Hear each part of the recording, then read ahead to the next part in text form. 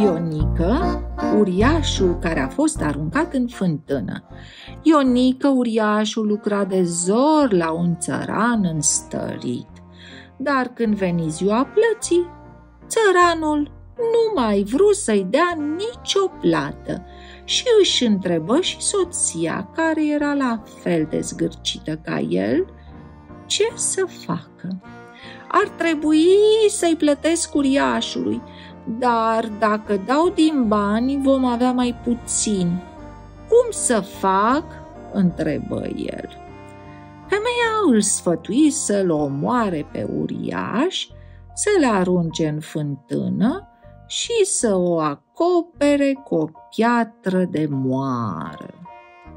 Prima parte a planului a mers ca și unsă, pentru că uriașul cel blând a intrat singur în fântână, fără să-și dea seama ce îi se pregătește. Piatra de moară a fost mai greu de rostogolit până la fântână. Celor doi le-a mai trebuit ajutorul la 13 slugi. Atât era de grea. Până la urmă, imensa piatră de moară căzu cu zgomot pe fundul fântânii, de se zgudui și pământul. Cei doi au fost siguri că au scăpat pentru totdeauna de uriași. Nu cred că a scăpat cu viață, spuse femeia. Cred că am scăpat de el, spuse și bărbatul. Dar chiar atunci îi auziră glasul. Hei, voi!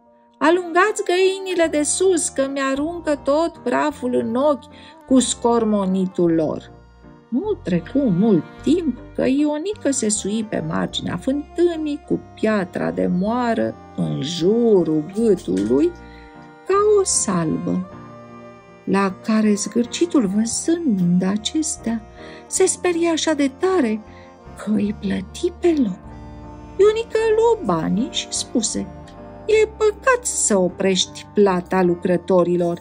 Eu am fost corect față de tine, dar tu ai dovedit că nu ești cinstit.